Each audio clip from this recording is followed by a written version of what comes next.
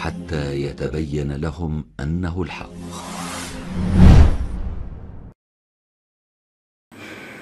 بسم الله الرحمن الرحيم. الحمد لله رب العالمين وصلى الله على حبيبنا محمد النبي الأمي وعلى آله وأصحابه وسلم تسليما كثيرا.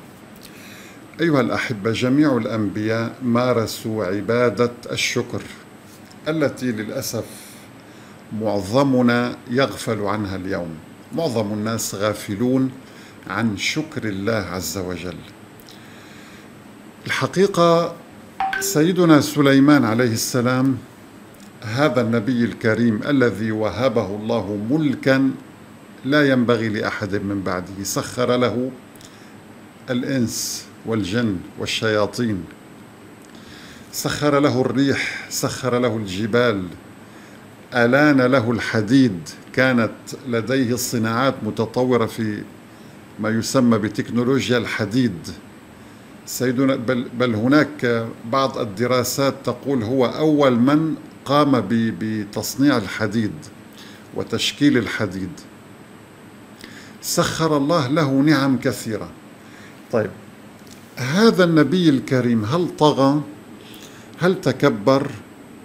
هل ظلم الناس؟ هل انشغل بالدنيا؟ ماذا قال هذا النبي الكريم؟ قال هذا من فضل ربي. ليبلوني أأشكر أم أكفر؟ ومن شكر فإنما يشكر لنفسه ومن كفر فإن ربي غني كريم. كان هذا لسان حال أغنى رجل في العالم في ذلك الوقت. وقلنا مرارا أيها الأحبة إن الصبر على الغنى أصعب من الصبر على الفقر. أن تكون ملذات الدنيا ومتاع الدنيا متاحا أمامك وأن, وأن يكون لديك سلطة ومال وقوة ثم تتواضع لله ثم تساعد الفقراء ثم تصبر هذا من من يعني أصعب أنواع الصبر على فكرة. لأن الإنسان الفقير ليس في يده أي حيلة. فقير لا يستطيع فيه فهو مرغم على الصبر ومضطر للصبر ومجبر أن يصبر. بينما الذي آتاه الله أسباب الدنيا هذا أصبح صبره اختيارا يعني يصبر نتيجة ماذا؟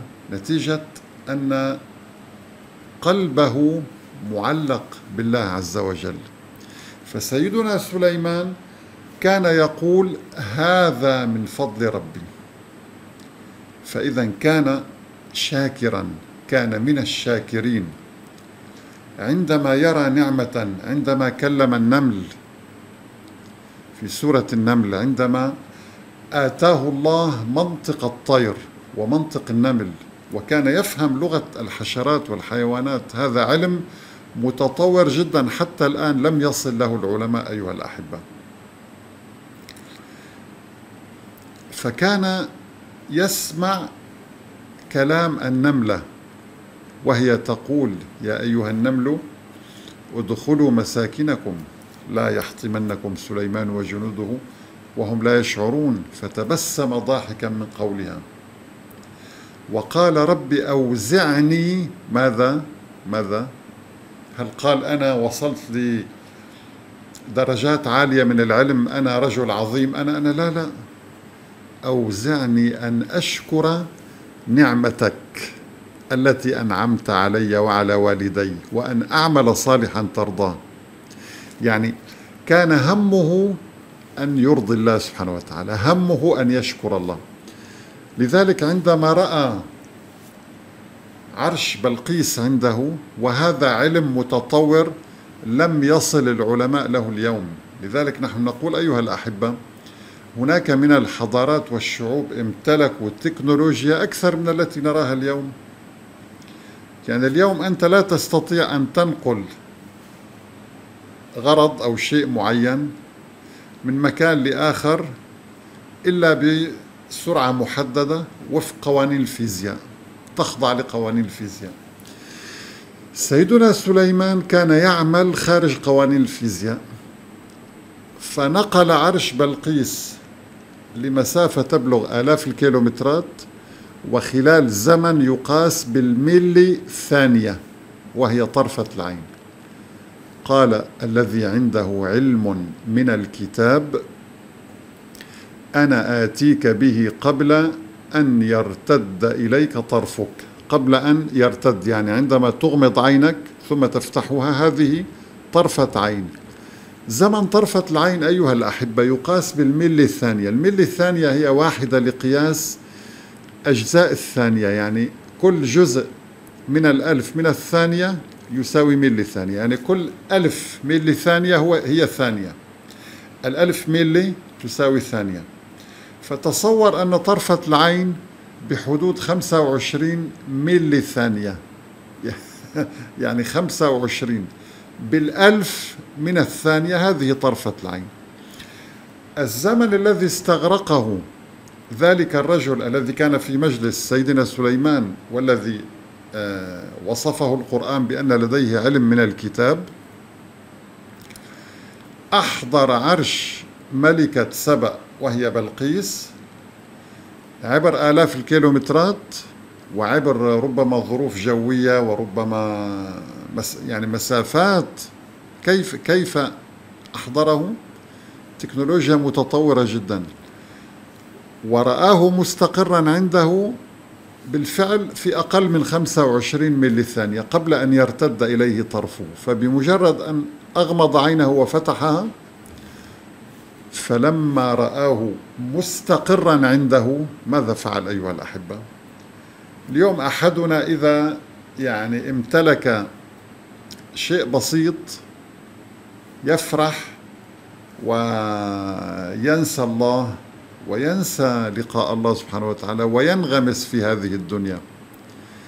تصوروا أن سيدنا سليمان امتلك هذه التكنولوجيا المتطورة ماذا كان رد فعله؟ فلما رآه مستقرا عنده قال هذا من فضل ربي. ليبلوني ليختبرني يعني ليبلوني أأشكر أم أكفر؟ ومن شكر فإنما يشكر لنفسه. لذلك أخي الحبيب عندما تشكر الله حقيقة أنت تفيد نفسك. أنت تشكر الله لفائدتك أنت. الله ليس بحاجة لشكر العباد وليس بحاجة للكون كله. هو الخالق هو الذي خلق الكون. كيف يكون بحاجة له؟ ومن شكر فإنما يشكر لنفسه ومن كفر فإن ربي غني كريم سبحان الله.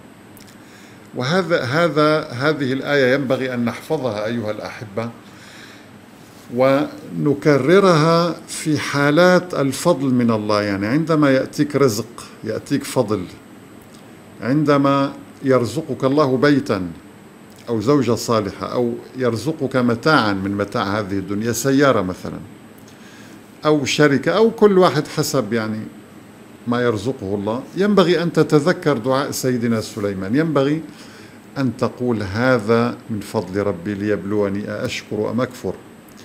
وتتذكر أيضا هذه الآية ومن شكر فإنما يشكر لنفسه. تتذكر أن أنك عندما تحمد الله إنما لنفسك.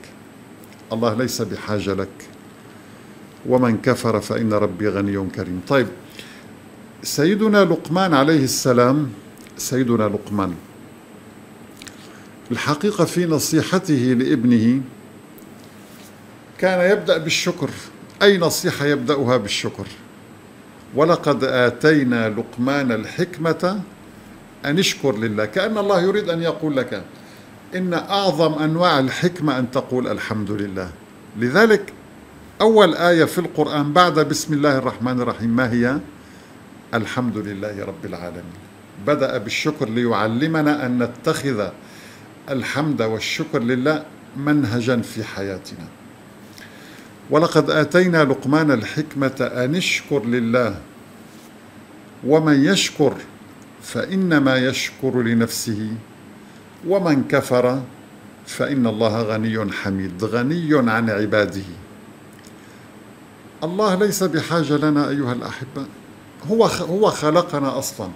نحن لم نكن شيئا.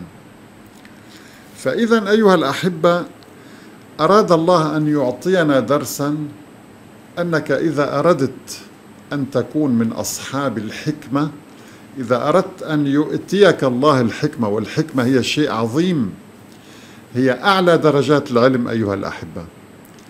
الحكمة أن تقوم بالعمل المناسب في المكان المناسب في التوقيت المناسب. ويعطي نتائج صحيحة. هذه هي الحكمة. ونحن بحاجة للحكمة في حياتنا. معظم قراراتنا خاطئة اليوم. لا, لا نستطيع اتخاذ قرار صحيح يضمن لنا سعادة الدنيا والآخرة. فإذا كأن الله يريد أن يقول لك الحكمة هي شكر الله. طيب سيدنا نوح عليه السلام هذا النبي العظيم الذي صبر كثيرا على أذى قومه. استهزأوا به ضحكوا عليه قالوا مجنون وازدجر. آه، تآمروا عليه.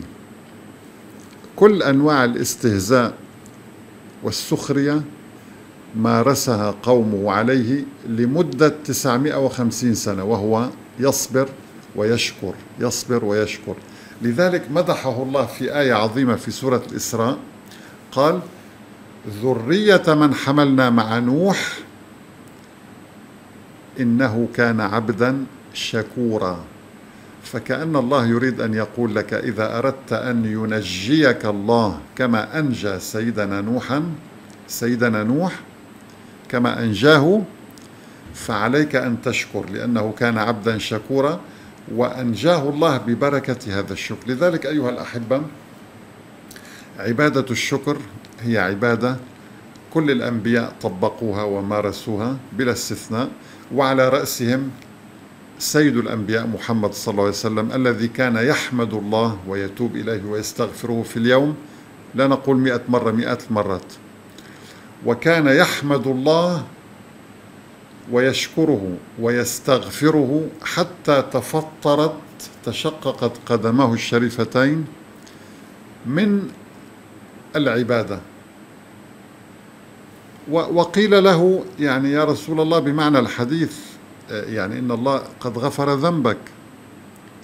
يعني أنت مغفور الذنب بنص القرآن ليغفر لك الله ما تقدم من ذنبك وما تأخر.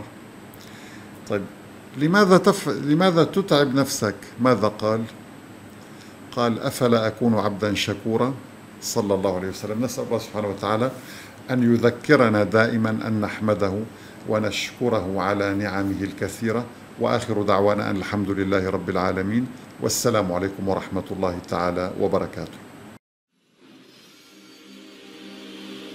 حتى يتبين لهم أنه الحق.